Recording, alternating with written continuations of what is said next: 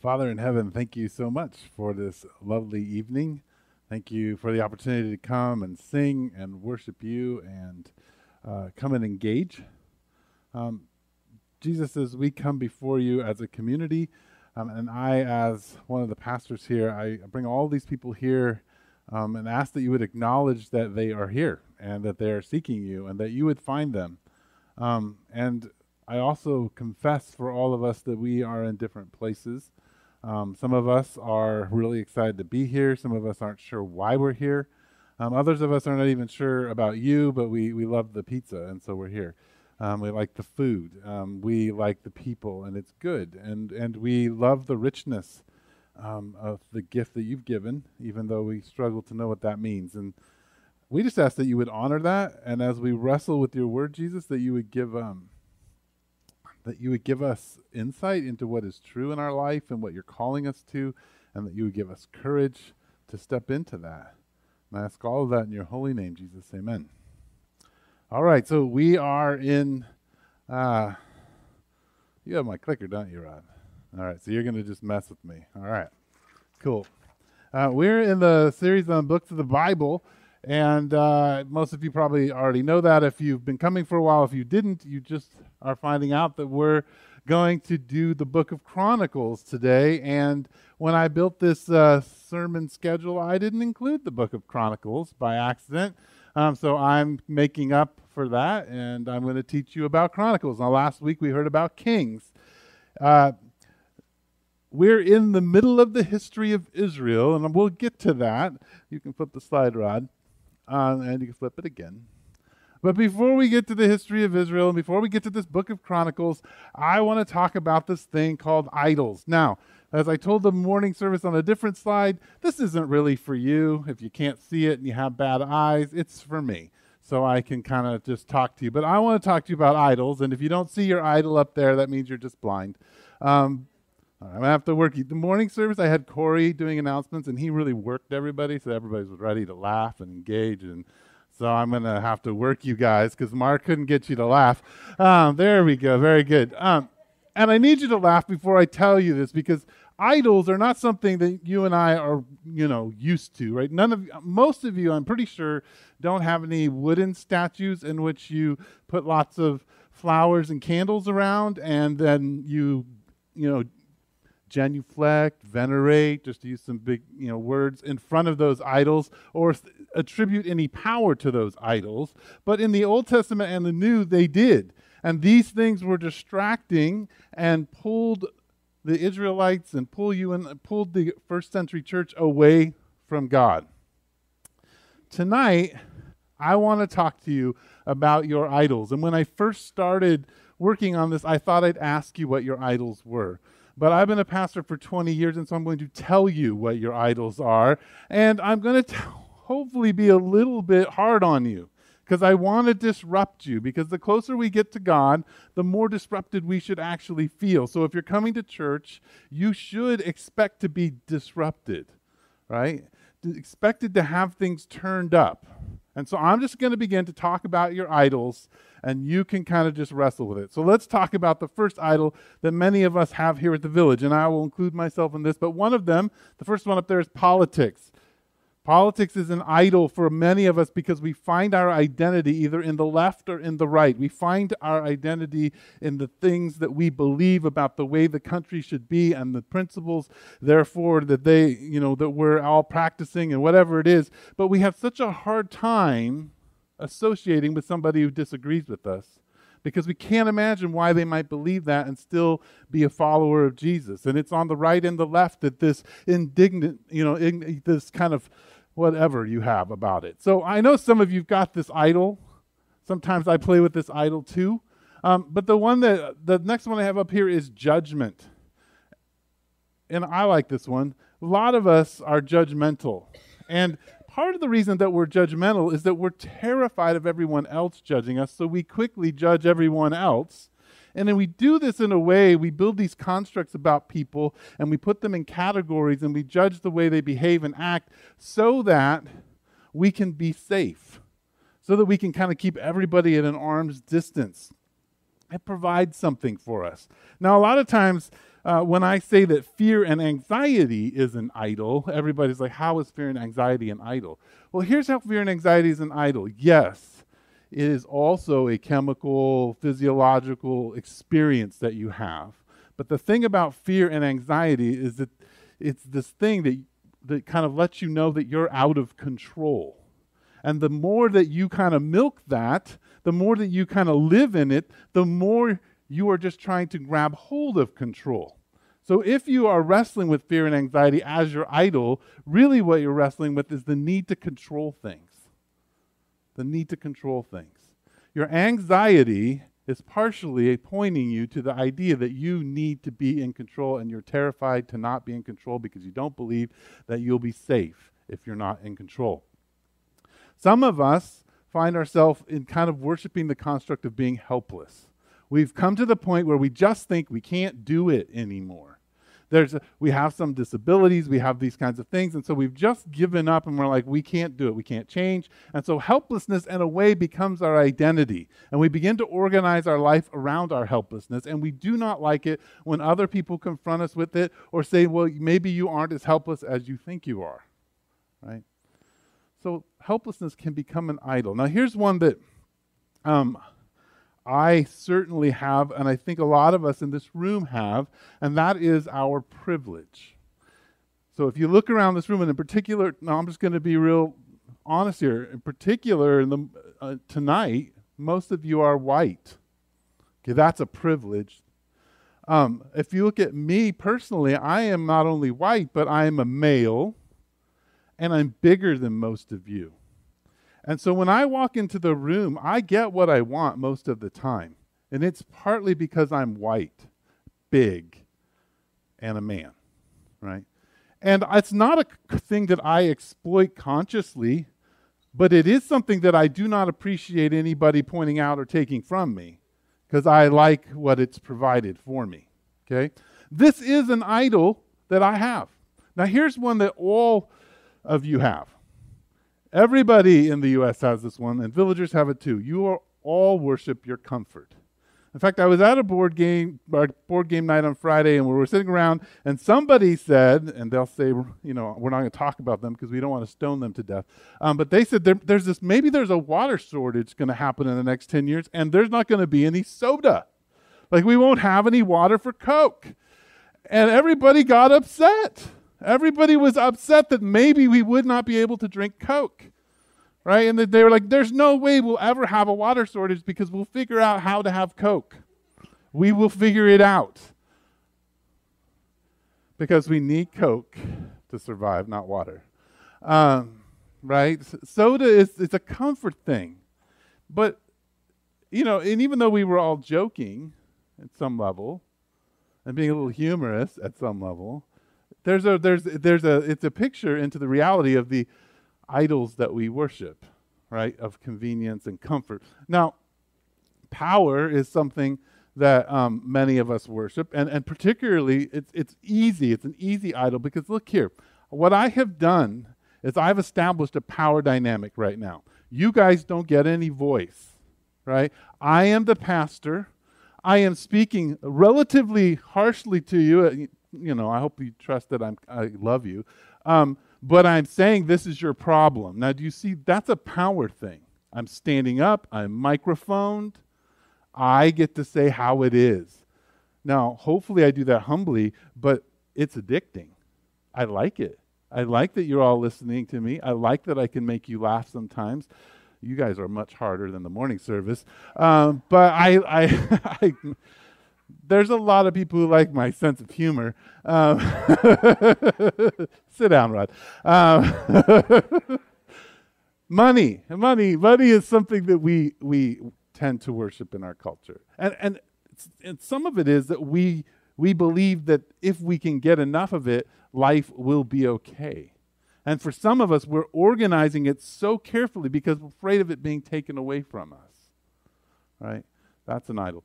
Appearance. This is one that all of us wrestle with, even when we say we don't. Like, you know, uh, our culture says the way you appear is a value statement of who you are, right? It's a value statement. Uh, and so we rebel and we say, no, my appearance won't define me. right? And so I'm going to have an anti appearance. No, well, that's your appearance. You're still working on your appearance. You care about what people think about who you are and how you look and how you come off. A lot of us wrestle with contempt, right? We have contempt for one another because we think that we know better. And we don't like the way you behave, and we don't like the way you talk, and we don't like the way you treat us. And so we are going to pour contempt on you because it makes us feel better and stronger, right? For others of us, theology is our idol. The way we understand who God is and what Scripture says. And it's so hard for us to, to have other people who might disagree. We can't possibly imagine that they know Jesus and disagree with our understanding of Scripture or the way God works with us. Now, here's one that you would be surprised, but this is the truth. The village is full, all of you, of really smart people. And even though you guys may pour contempt on yourselves for that, and try to be like, oh, I'm not that smart. I have this problem. Actually, you're all pretty smart and you're actually pretty proud of it. Right? You know you're smart. You know you're talented. Right? These are idols that you and I use to give us identity, to protect us from being hurt, to give us a sense of power in a world that seems chaotic. Flip the slide for me. Now, I don't know how many of you have seen Portlandia. How many of you have seen Portlandia? About the same amount of people have seen Portlandia in the morning. So here's the thing never watch Portlandia except for maybe the first season. It's gotten really horrible. But in Portlandia, which is this half an hour sitcom that you can watch on Netflix, it's making fun of Portland culture. And this particular episode is put a bird on it. They put a bird, like a bird patch, on everything, right? And then it's cooler when you put a bird on it, right? And it's a hilarious, hilarious um, little half hour of TV. If you don't hear anything about Chronicles today, I want you to hear this one thing. I want you to listen to this one thing, actually, and I guess that would make you hear it. Um, is that as you wrestle with your idols, as you hopefully have been pricked just a little bit, I want you to listen to what Solomon, so David's son, when dedicating the temple, prays to God in Second Chronicles 7, starting in verse 18. He says, But will God really dwell on the earth with humans? The heavens, even the highest heavens, cannot contain you. How much less this temple I have built? Yet, my Lord, my God, give attention to your servant's prayer and his plea for mercy. Hear the cry and the prayer that your servant is praying in your presence. May your eyes be open towards this temple day and night, this place of which you said you would put your name there. May you hear the prayer your servant prays towards this place. Solomon understands that God can't dwell in a tiny little temple. Like he understands that the creator of the universe cannot be contained. He's just putting his name on one temple. Now, we've talked about this a lot when we talked about Jesus as priest, prophet, and king, but we talked a little bit about the temple. And the temple itself just to think about it, is where heaven and earth meet. It is a small, tiny reflection of Eden and what it was like before the fall when Adam walked, Adam and Eve walked with God. So in this temple, there's this point where heaven and earth meet, where Israel can turn towards and pray, where they can come as a community and ask God to look at them and on them. This doesn't mean that God doesn't hear their prayers anywhere else. This is just a special place for the community.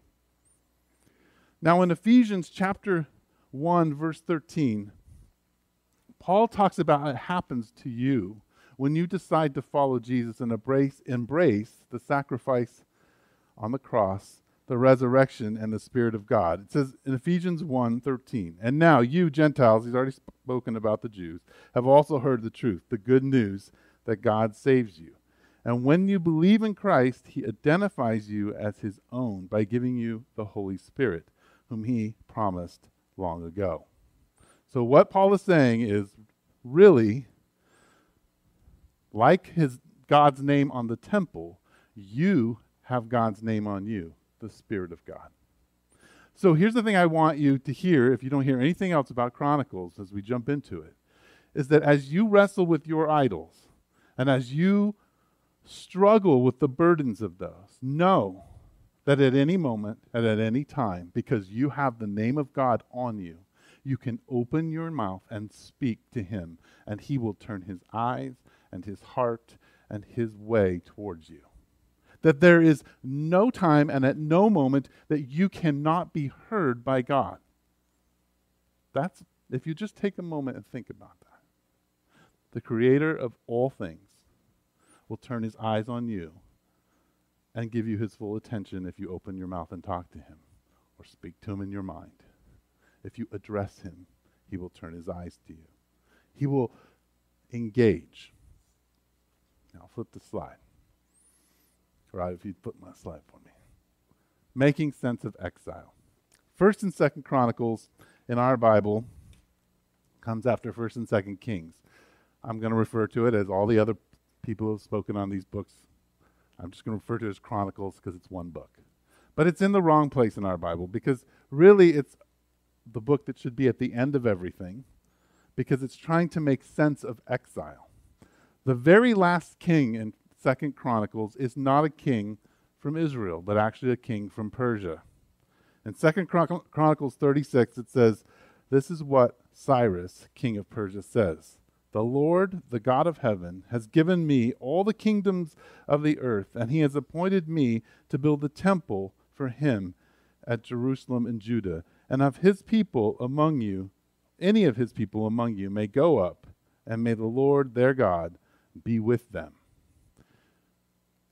We've if you've been with us for a while, when we went with Daniel, or went through Daniel, you know that all of Israel and, and all of Judah was taken into captivity and into exile, and the temple was destroyed. Chronicles ends after the Persians take over the Babylonians, and King Cyrus sends Israel back to build their temple. And so, Chronicles is this book trying to make sense of what happened. What happened? Why, where, why did it go wrong? Right? And so, they're trying to make sense of life after exile.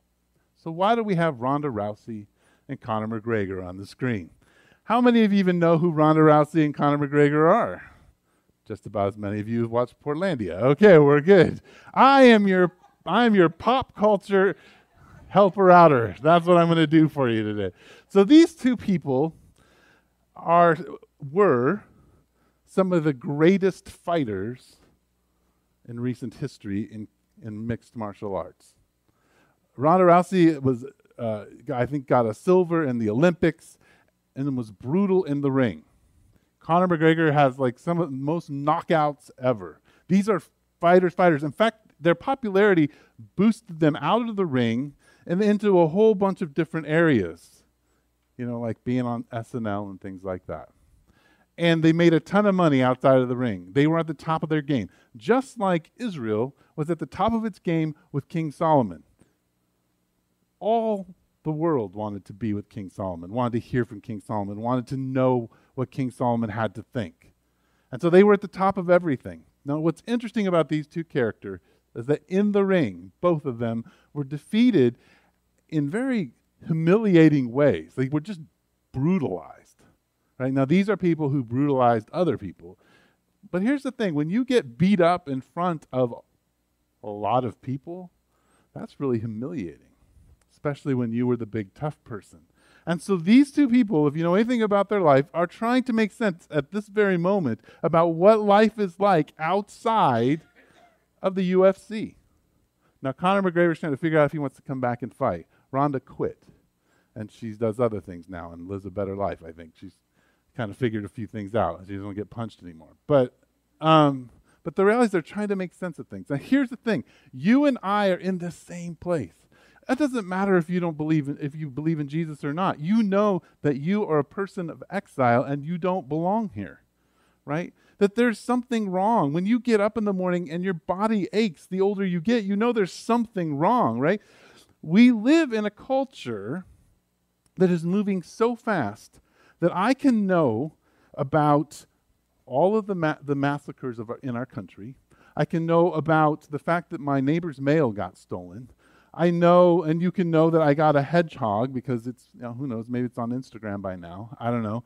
Um, okay, it's on Instagram. Thank you. Um, you can, you know about what's happening probably in Africa and the different rape camps. You can know about all of this information within 30 seconds almost. All this, and you're trying to digest it. Now, here's an interesting stat that in 1999 to 2000, in that one year, there was more information produced than had ever been produced in world history because of the internet. Now, think about that from 2000 to 2019 because we are just endlessly producing. I mean, how many people here at some point in time thought they were a blogger of some kind or has posted some kind of information on? Every single one of you has at least typed something in and produced some information and put it out into the world. Only false stuff for Ron. But here's the thing we are all trying to make sense of life, right? And it's kind of like for Israel and for us, we're on a boat in a storm and we're trying to just stand up, right? And so Chronicles is written to answer the question. You can flip the slide, Rod. Rod, Chronicles is written to answer this question what happened? You can flip it one more time. Again, my slides are not done right. Um, that's all my fault anyway. And the answer they come up with is in 1 Chronicles chapter 9, verse 1. All of Israel was listed in the genealogies recorded in the book of the kings of Israel and Judah. They were taken captive to Babylon because of their unfaithfulness. Now, here's Here's the thing you might not have known this, but the entire Bible is about marriage. From the beginning to the end, it's metaphor after metaphor after metaphor after metaphor about marriage. And so when when Israel is saying the reason we went into Babylon and into captivity was because we were unfaithful, it is a kind of marriage thing. That we betrayed the trust of our marriage to God. And so we were sent in to exile. I want you to hold on to that, and I'm going to give you a two minute review of over 60 chapters. So, you ready for that? You're going to have to flip backwards, Rod. Two minute summary, okay? And then we're going to get to business and talking about this unfaithfulness. First Chronicles, chapter 1 through 9, is a genealogy. Real boring, but important to read. It is all about David. It is a David centric genealogy. Because the question that Israel is asking is why don't we have a forever king? What's happened to him? And so they're going to wrestle with who is the right king? What, you know, they're going to start kind of asking questions about this. And so this genealogy is David's genealogy, but it's also the priestly genealogy through Aaron. If you like genealogies, read it. If the genealogy is going to not is gonna make you not read Chronicles, skip it. If you don't care, listen to it on an audio recording and then read. I don't care. You should at least read it once in your lifetime. Um, First Chronicles then 10 should be 10 to 29 is just most of David's reign, but it's all the positive things. So it's not the stuff in Samuel. There's no adultery, no murder. The only real bad thing that David does in this one is that God says, don't count people. And he says, why not? I'm going to do that. And then things don't go very good for him. Um, but that's really the only down thing. Most of it is how great David was as a king in those chapters. In fact, in chapter 22 to 29, it's David preparing and organizing all the things that need to happen to build the temple um, and prepare it for Solomon. And Second Chronicles chapter 1 through 9 is Solomon building the temple, Solomon dedicating the temple, Solomon building his palace, Solomon building endless amounts of gold shields and spears, and then and he just kind of I don't. What do you do with a gold shield? I don't know what you do with a gold shield. I guess you hang it on the wall. You have a parade with your gold shield, and you're really sparkly.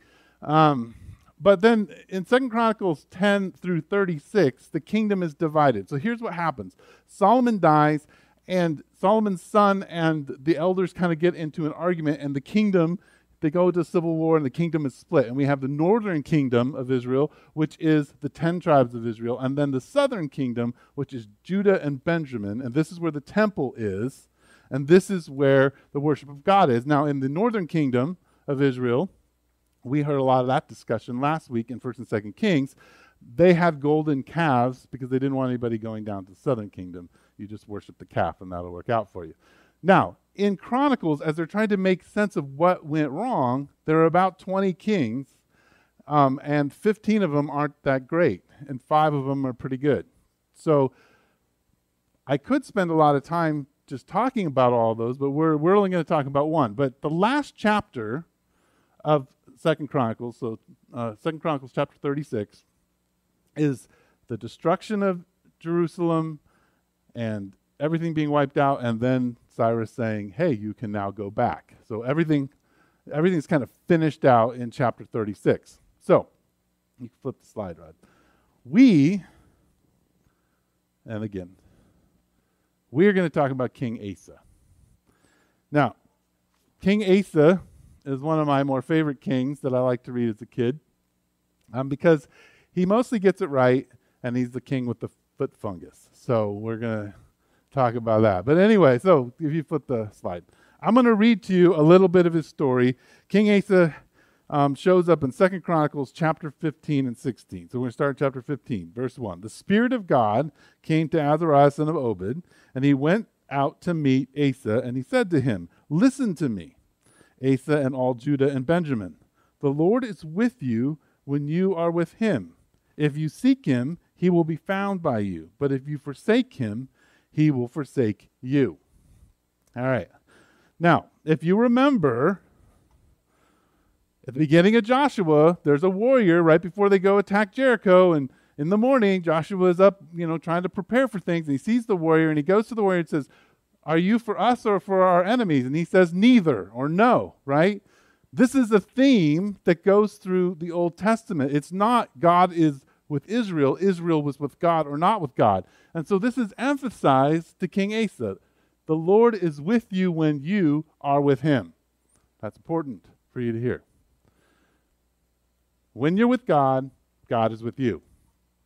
Then he says, if you seek him, he will be found by you. Now, here's the interesting about seeking it's not that God got lost and you need to go find him.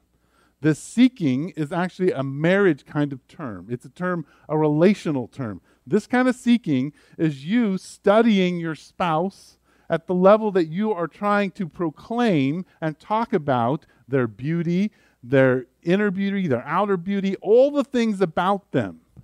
Seeking, uh, in this context and this, this word, is you learning, talking, expressing your knowledge of your spouse or of God. So if you are seeking God, you are speaking about, about who God is. You're trying to figure out more about who God is. You're telling everybody who God is. That's how you find Him. Now, when it says he will be found by you, he's not hiding.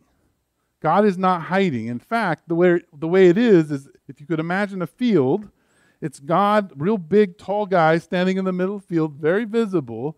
And you and I have been spending our life going around like this. Where's God? Where's God? Can't find him. Can't find him. Can't find him. Oh, there he is. Oh, hi God. It's kind of it's kind of like when a little 1-year-old is toddling around and they know where mom is and then all of a sudden they lose sight of mom and they start freaking out and then they see mom and you just see like sort of all their face relax. Oh, there's mom. This is what's being talked about here. Is that God is right there. All you have to do is begin to talk about him, focus on him, and you will find him. Right? he will show up. Now, he goes on to say, But if you forsake him, he will forsake you. The important thing you need to note about this is this is an active word, you forsaking. This second word is a passive word. This word forsake is, is the same root and idea that happens when uh, it says in Genesis and also in Ephesians that the man will leave his mother and father. So that leave is literally a breaking of a bone. Okay, so his, the man will forsake his mother and father, and then he will cleave to his wife, meaning he will refuse that bone. So you're forming a new family. So it's a divorce term. So in some ways you could think it this way, but if you divorce him, he will be divorced.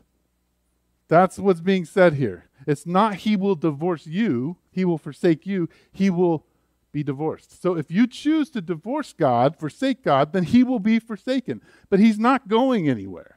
It's not like he's like, fine, I'm out of here. He's in the same place, but because of what you've done, his status is divorced. Okay? But here's the cool thing about this passage it's very Hebrew, and that it's not, it doesn't, this period is not an ending. In fact, it goes back up. So the idea is if you're with God, then he'll be with, he'll be with you. And if you seek him, he'll be found by you. But if you forsake him, he'll be forsaken. But if you go right back up and you're with him and you seek him, he'll be found by you. He's not going anywhere. Okay? The found and the second forsake are passive. They're results of what you've chosen and can be reinstituted. This is an important thing because this is the invitation that God gives us and gives Israel. And this is the reason that Israel found itself in the place it was at because it would not return to the top. It wouldn't go be with Jesus or with God. So it goes on. It says, For a long time Israel was without the true God. So now the narrator jumps in. Without a priest to teach and without the law. But in their distress, they turned to the Lord, the God of Israel, and sought him, and he was found by them. Okay, I want to talk about this word distress. And to, tell, to understand this word distress, I want to tell you a little story that happened in 1 Samuel. Now, David, the king, the first king, had not yet become king, and Saul's chasing him everywhere. And he and his little band of men return to their little village and what happens is all of their wives and kids are gone. And it says that the, uh, the idea of the text is that the people were so distressed, his soldiers, that they wanted to stone David because they were upset, which is, you know, makes sense. And David, it says, encouraged himself in the Lord. So they're distressed. So you can flip my slide, Rod. This idea of distress and encouragement has to do with binding. Okay? So here's kind of the idea in this picture David's men bound themselves to their distress, and it shaped their behavior. So they come, and all of their children and wives are gone. They freak out, and they want to stone David. So they've bound themselves to their distress, and it leads them to a choice that's destructive or at least contemplating a, a choice that could be really bad for them. David, on the other hand, in the middle of that distress, this idea of encouraged himself in the Lord is a binding, so he bound himself to the Lord so he could face the situation. Okay? So this this is important because all of us are bound to our distress. That's normal, right? We are bound to our idols. We are bound to our circumstances. We are bound to the events that happen to us, and they create great distress. Now, this word distress is like having your head in a vice or being in a narrow canyon with enemies on top of you, ready to shoot you, right? You, we're all bound to the distress. But in it, it says, Israel cried out for God. They turned around, and there he was. Now, here's the thing when you pray to God and you begin to ask Him to intervene and you are distressed and you're bound to the circumstances that you are in, it doesn't change things. In fact, it usually looks pretty bleak. Listen to what the text says. They, they were found, but it says, In those days it was not safe to travel about, for all the inhabitants of the land were in great turmoil, one nation being crushed by another, and one city by another, because God was troubling them with every kind of distress. But for you, be strong and do not give up, for your work will be rewarded. Okay. First, just so you don't get distracted here, it says that God was creating distress, right?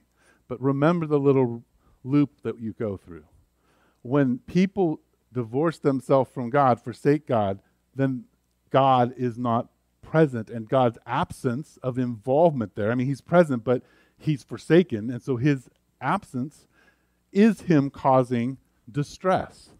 It's not like he's like, fine, you decided to divorce me, so I'm going to create distress. No, it's the very absence of God that creates chaos. If you decide to walk away, to turn your back, there's going to be chaos. So the, the whole world is in chaos.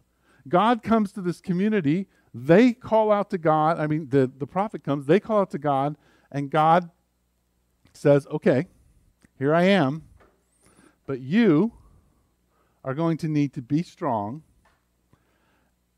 and I'll read this to you again, but it says, But as for you, be strong and do not give up, for your work will be rewarded. All right, so this be strong is the same word that you where it says that David encouraged himself in the Lord. Be strong and courageous. These words is combined together. And so what it's saying is, okay, bind yourself to God. Things are distressing, things are chaotic, the information and chaos of our world is, is we know it's just crazy.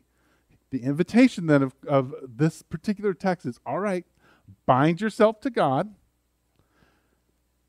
and stand. So being strong has this idea of standing. You have your arm bound to God, so you can imagine your arm bound to God, and now you need to stand or be rooted. And in martial arts, there is this idea in some martial arts that you, when you get into your stance, that you imagine that your feet grow roots into the ground so that you can't be moved. Okay? So the picture here is all right, this is going to be a difficult thing. You need to be strong. And then it says, the interesting part here, it says, do not give up, which the NIV, it's, it's a weird translation. It's literally the word yad. And the word yad in Hebrew is the word for a pointer that you use, or a beeper, a pointer that you use to read the Torah because you can't touch the Torah because it's too holy. So when you're reading it, if you point, you go. Well, I guess you go like this because you're reading this direction. Um, so it's a little metal finger pointer, so you know where you're at. So this idea here is that bind yourself to God, be strong, root yourself, and go in the direction of God, go in the direction of holy, and you'll be rewarded. You're getting a lot of emails in there. you down you downloaded the Bible. Okay, now the Bible's being downloaded. Well, at least it's something holy happening up here. All right. So so when here's the thing though. When you pray in the midst of your distress, God asks you to act. Action happens. You are invited to act. When you find God, when your life is being disrupted, when the idols of your life are being disrupted, God invites you to act. Listen to what happens as Asa hears this, these words of the prophet. When Asa heard these words and the prophecy of Azariah, son of Obed, the prophet, he took courage, he bound himself to God, and then he acted. He removed the detestable idols from the whole land of Judah and Benjamin and from the towns he had captured in the hills of Ephraim, and he repaired the altar of the Lord that was in front of the portico of the Lord's temple. You don't have to go anywhere, Ron. It's just making me laugh. Okay. You can flip the slide here so we can have some toppled idols when you pray in your distress and you find God, God invites you to aggressively go after your idols and to topple them down. So he invites me to go after my privilege. He invites you to go after your judgment and your what you put it in you put whatever it is in there.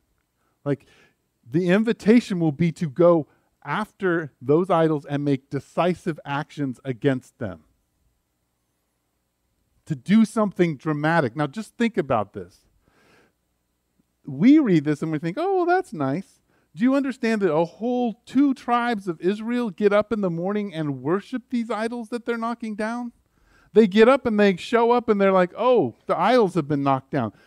Asa has stepped into a very risky place and said, I am going to change the worship of my community. That's dangerous. You risk not being king anymore when you attack people's idols, right? But that's even true for us. We risk rejection when we begin to tra- transform and to be transformed. The other thing that happens, though, is that he establishes relationship with God.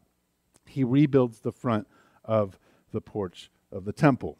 Now, flip the slide, Rod. The question that Israel has in Chronicles is what went wrong. We sort of have a promised land, but it's been invaded. We sort of have a temple now, but it has to be built. We don't have the king that we want. The question that you and I have to ask, no matter where we are with Jesus, is what's going wrong? Because the reality is, is that most of us do not experience the peace of Christ. In fact, that list of idols that you saw that I put up there, the ones that you hold on to, create a chaos and an anxiety and a lack of peace in your life. So, so how do we go about making decisive action against our idols? What does that look like? Well, Paul in first or Colossians 3, 15 through 17, offers us a picture of what the church looks like, and I want to offer you a way of going about this. Colossians 3, 15 through 17 says, Let the peace of Christ rule in your hearts, since as members of one body you were called to peace, and be thankful. Let the message of Christ dwell among you richly as you teach and admonish one another with wisdom through psalms, hymns, and songs from the Spirit. Sing to God with gratitude in your hearts, and whatever you do, whether in word or deed, do it all in the name of the Lord Jesus, Give, giving thanks to God the Father through him.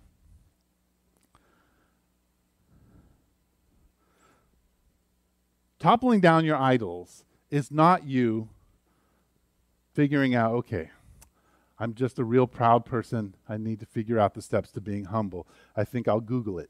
Right? That, that is not how it works. Scripture is very clear that the way you topple your idols is that you bring them into the light.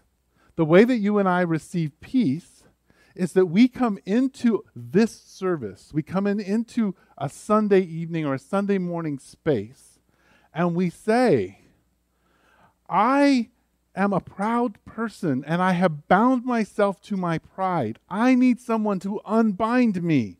I need you to take the ropes off because they are too tight and I can't get them off. And you and we you need to come into the community when it says we need to admonish one another, we need to sing songs and hymns. Part of that is saying, bind me to Jesus. You're asking me, you're asking one another, you're asking as we sing to be bound to Jesus. That, there, that the way that you and I both topple the idols and establish relationship is to come humbly into the community and bring the idol to light by saying, This is where I'm tied and I can't get off, get it off. Right? I've just tied way too many knots and it's just my fingers are too chubby to get it off. That's that's what attacking your idols. That's what God invites you into when you cry out in distress. And what happens is that you will find the peace of Christ ruling your life when you're willing to bring things to light. Now, here's the thing that in recovery, eh, that we that you talk about a lot, and I think it's important in this process to think about bringing your idols to light in your life is that there are three ideas when it comes to dealing with your addictions. One is that you have to be 100% brutally authentic. It's not, and when we're talking about brutal authenticity, we're not talking about me going to you and saying, I don't like the way you X, Y, and Z. Brutal authenticity is saying, here is my idol. Here is my addiction. This is who I am. The second one is that we have to leave the results up to God. That's the part of being found by God, is that the results are up to Him. The transformation is up to Him. All we do is come into a community of, of people who love Jesus and say, This is who I am. in. am. This is how I'm bound. Right? So we have the brutal authenticity, we have the results being left up to, um, excuse me, left up to God. And the third one, I couldn't get it, could I? I got the. I forgot. Do you remember what it is? Help me out here. Somebody who was here in the morning service. I just totally blanked, and it's not in my notes. Come on, guys. You guys don't remember? All right. Well, it's fine. Well, I'll, it'll it'll hit me in a minute as I talk about something else because it's super important to what we're having to talk about. But obviously, those that are in the service don't remember it. Um, that's okay. It's on a recording. We'll remember. So here's what happens, though. That's gonna bug me. Wow. Okay.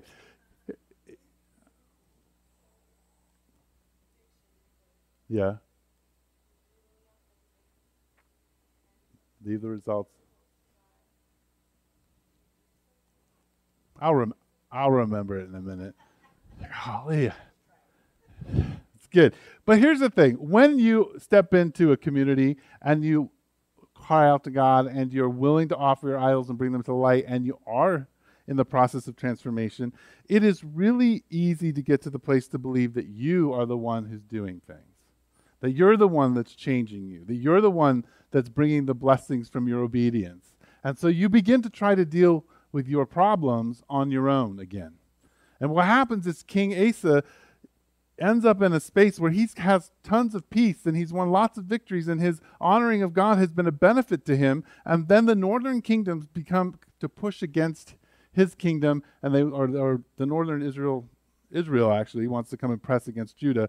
And so instead of asking God to help, he goes and he he takes all of the good stuff out of the temple and the palace and he goes and gives it to this king and that king helps him out and then he has peace and then here comes the prophet at that time hanani the seer came to asa king of judah and said to him because you relied on the king of aram and not on the lord your god the army of the king of aram has escaped from your hand were not the cushites and the libyans a mighty army with great numbers of chariots and horsemen. Yet when you relied on the Lord, he delivered them into your hand.